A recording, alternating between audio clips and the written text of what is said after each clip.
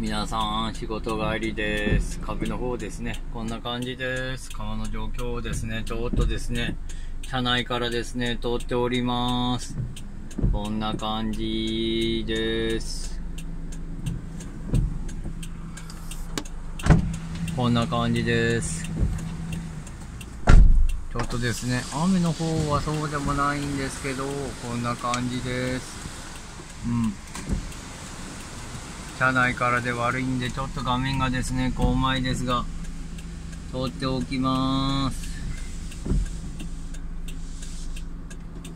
まあ、今んとこ濁ってるだけの状態ですから、そうでもないですよ。こんな感じです。壁のですね、裏の弓道の方ですね。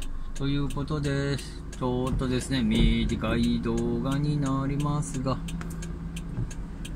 ちょっとですね、電池切れを起こしてですね、何回来たんですけどもう、ちょっと出るので、車は停車してるので。